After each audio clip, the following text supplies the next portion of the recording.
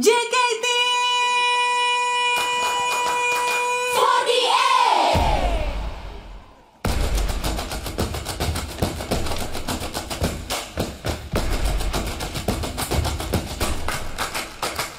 Majulah ke depan, got it Janganlah berhenti